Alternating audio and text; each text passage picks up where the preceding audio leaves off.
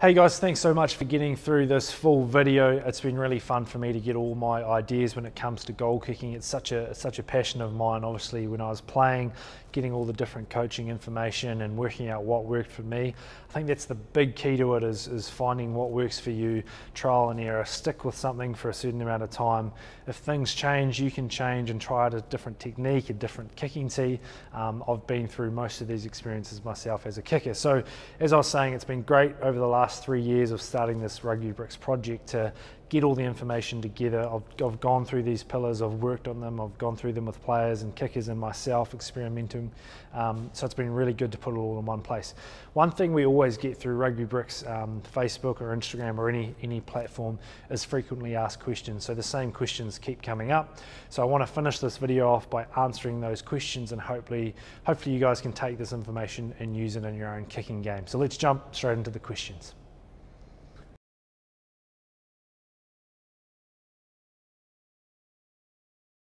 So many kickers, especially when you're young, are in such a rush to add distance to their kicking technique. I myself was one of them.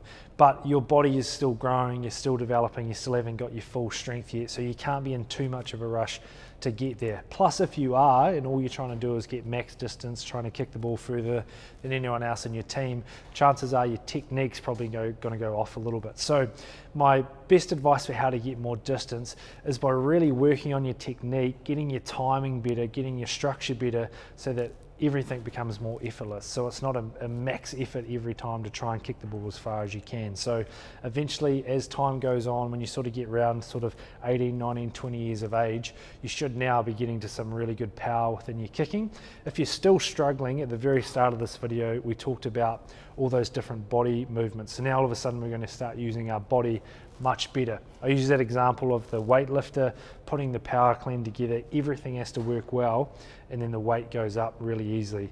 But that weightlifter's had to work up to that weight. They haven't just jumped from zero to 100. So be patient with it become obsessed with your technique and really good ball flight and really good ball strikes, and the distance will come.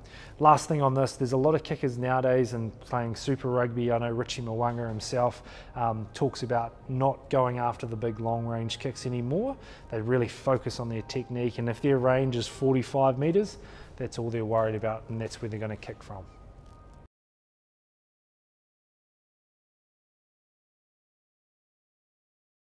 Whenever I used to kick into a strong headwind, I changed up a few things. So if this was my ball, ball setup, I always used to try have the ball sitting on around about a 45.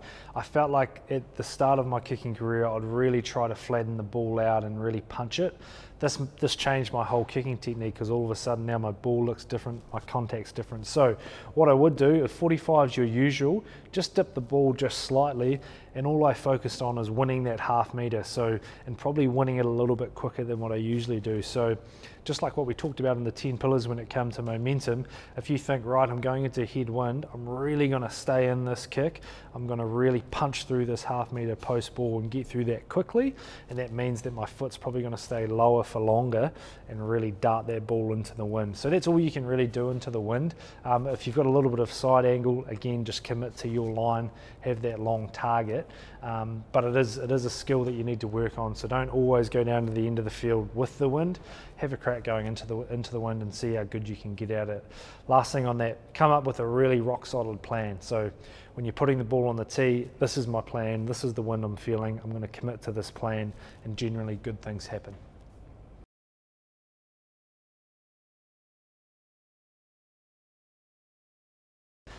Whenever I have a kicking session with someone, it's always about them kicking the ball first before I try to enforce any ideas or cues or techniques. So I really need to see them take at least 20 kicks before I start offering feedback straight away. Um, I'm all about having an individual technique. The reason why I came up with the 10 pillars is it doesn't matter what technique you use, you can fit into the 10 pillars. So mindset, doesn't really matter what technique you've got. Ball setup, just tell me what your ball setup is. All the pillars have uh, really good detail in them, and I guess what I try to get the kicker to understand is if I ask you about a single pillar and you can't answer me about what you do, you don't understand your kicking technique well enough. So your technique can be your technique. There's a lot of people that have done it before you that have had success, so why not try to learn from them and, and almost mimic them and see how, how they've gone about their kicking process. Have a lot of conversations, ask a lot of people, get a lot of feedback, uh, and eventually you'll get to something. When you do get to something really good, commit to it for sort of two months and maybe just block out a bit of noise, say, no, this is what I'm focusing on, um, and see how well you can get that.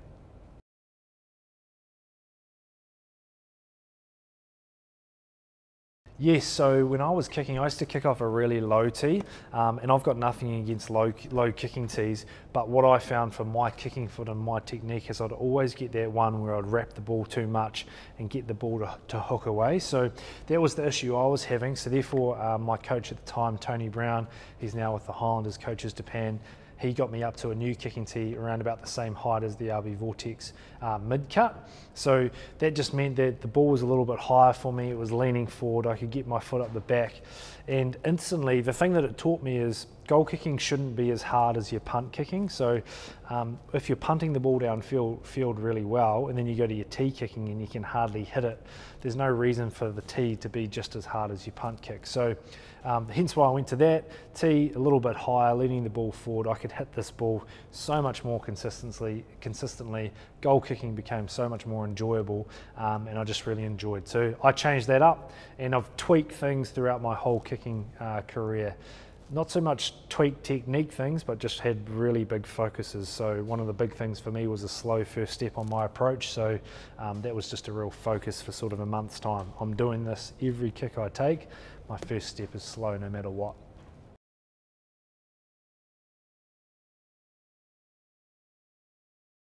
So this is something that all kickers have got to go through, playing on club fields or wet fields in the middle of winter.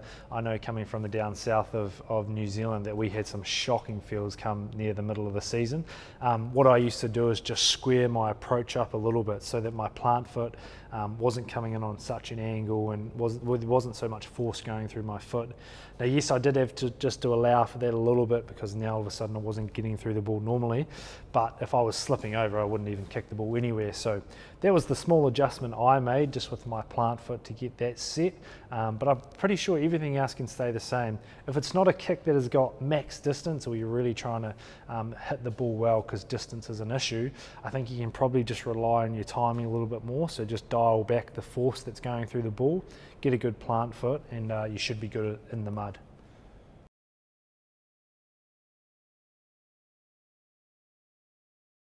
For me, I became really obsessed with goal kicking around the age of 20. So I used to go kicking on game day in the morning. Um, now, this was all just to keep the rhythm because I wanted to, to feel really good in the afternoon when I was playing.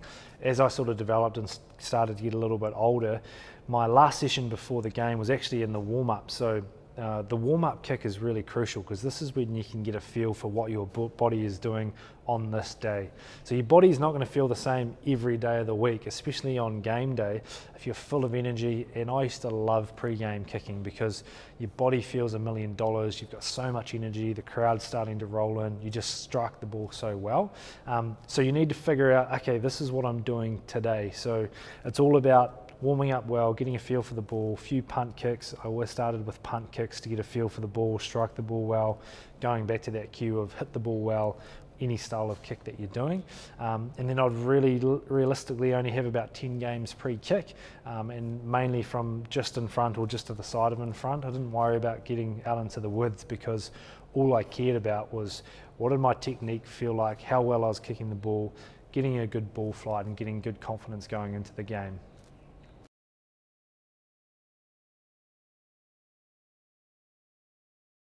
Good question, and a lot of people find it way easier kicking from the sideline. One, because there's less pressure because people don't expect you to get those sideline kicks.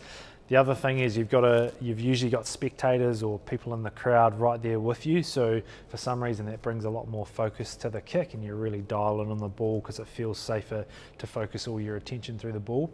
And the more important, and probably the one that I think that it is, is because it's a long target. So quite often at training, everyone's mucking around, the forwards come over, the coaches have a kick from the sideline corner, um, and generally a lot of people get it. I think it's because the target's so far away, it gives you that long target automatically, so therefore you focus on it, you really dial in, and, and that's why you nail those long range kicks. So that's why having a long target is important, even when you're right in front. Instead of just looking at this big open space of the post, have a long target, spot something through the post in the distance 20, 30, 30 meters, and that's, where, that's your line of the target, just like the sideline kick.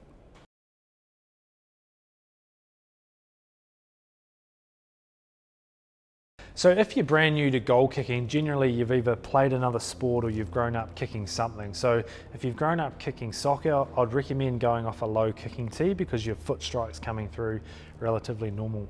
If you're in Australia and you've played a lot of AFL and, and Aussie rules, your foot strike's much higher because you've been kicking out of hand, so I'd recommend something a little higher. From what we've seen with sales for the kicking tees, we've seen a lot more of the higher tee. I think you can get a slightly nicer ball strike on it. Your foot's up the back of the ball, so it's slightly an easy place to start.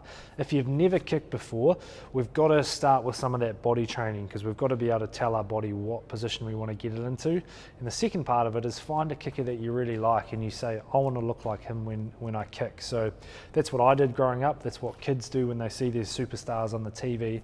I want to kick like that person, so I'm going to mimic them. I'm going to do their approach, and uh, it's a really good place to start when you're learning out. Just follow someone that you admire, and um, and and trial and error, work out what works for you.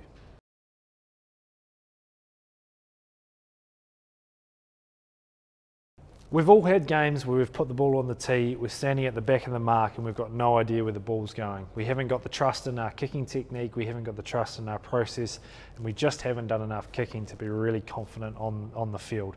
So if you are having a lot of misses or you're at training session and things just aren't going well, I always go back to punting the ball. So I can generally every day of the week punt the ball really well. I can get the feel back. So kicking and goal kicking shouldn't be uh, should be just as easy as punting the ball out of the hand. So getting nice strikes on the ball, the feel of the ball. If we hit the ball well, generally it goes where, where we want it to go. So you're having a shocker. If you're in a game and you just you've got no trust in yourself, um, I would hand the kicking duties to someone else. If you're an experienced kicker and you want to stay in the fight, stay in it and slow things down. Back your technique. Uh, you've done the work. Trust it. I've had to do that in games before, and you managed to get out of that hole. Um, but yeah, best advice I can give is training session. Um, um, or if you can get back to punting the ball, you can hit the ball really well and get the feel that you want through your foot.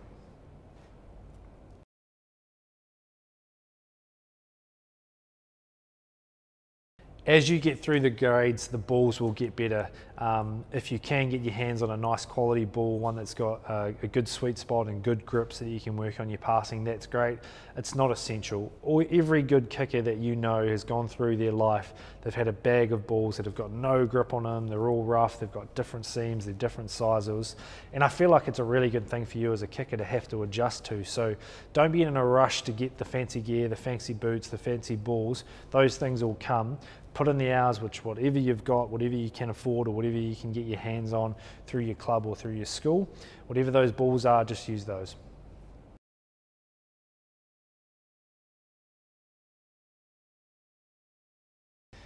Nice boots are always really nice to wear because they're comfort and they've got really good grip. And I've kind of changed my tune a little bit on this. I used to say it doesn't matter what pair of boots that you wear, um, but I guess if you're feeling good, you're feeling balanced, and you're, you're really happy with your boots because your plant foot gets in a great position, you feel balanced, and you get nice strikes.